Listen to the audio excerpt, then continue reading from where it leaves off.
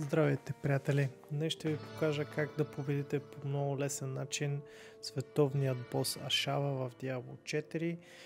А, предимно има няколко неща, от които трябва да се пазите, в зависимост от а, каква роля, какъв герой играете.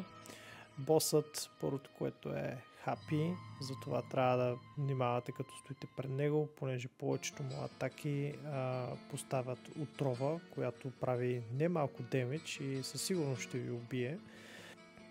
И другото нещо, което прави и основното, за което трябва да се внимава е завъртането с ам, крилото, на което има нокет, така че трябва да внимавате или да сте извън кръга, или вътре, близо до босът, прави две завъртания в кръг и може да се види лесно, когато си повдигне крилото а, или ръката и прави завъртане в кръг. Трябва да се внимава, понеже след първото завъртане може да се премести босът в дадена посока и, и второто завъртане да е по-близо до вас, съответно да ви докачи с нокета и да, не вярвам, че ще оцелеете босът може също така да скача. Така че имайте това в предвид и се пазете.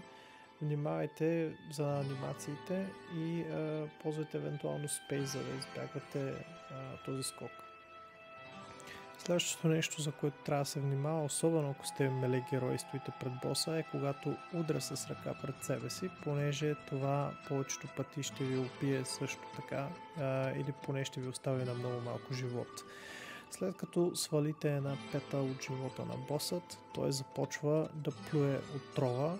Затова е много важно а, да внимавате за анимациите на, на, на шава, на босът и в момента в който си повдигне главата, това подава индикация, че ще изплюе отровата пред себе си и просто се преместете е, една идея на страни, е, за което мога да ползвате Space, ако нямате магия, примерно като телепорт на магиосникът.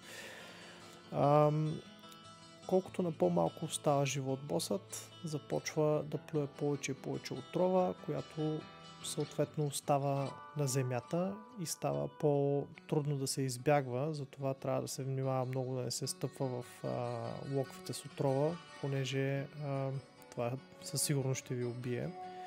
А, също така, не, нещо друго, което босът прави е а, прави атака зад себе си, което ще каже, ако сте зад него, също така може да ви удари и трябва да се внимава.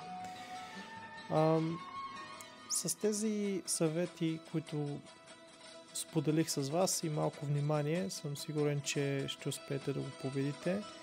И да, желая ви успех и хубав а, лут. Ако това видео ви е харесало и ви е било полезно, харесайте, споделете, коментирайте и надявам се да ви видя на някои от живите стримове. До нови срещи!